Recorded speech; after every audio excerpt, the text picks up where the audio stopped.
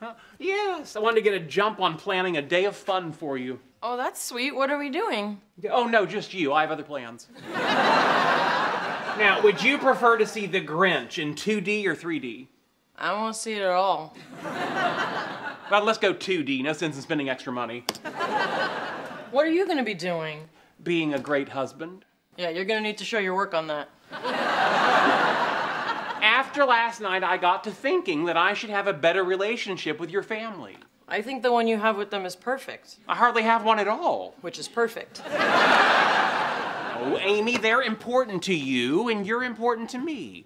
Therefore, according to the transitive property, they're important to me. It's the same reason I'm interested in your big flat feet. Well, you know that my mom can be a little difficult to get along with. Which is why I'm starting with your dad and working my way up. All right, just worried you might have a rather unpleasant day. Yeah, back at ya. I watched the trailer for The Grinch. It looks terrible.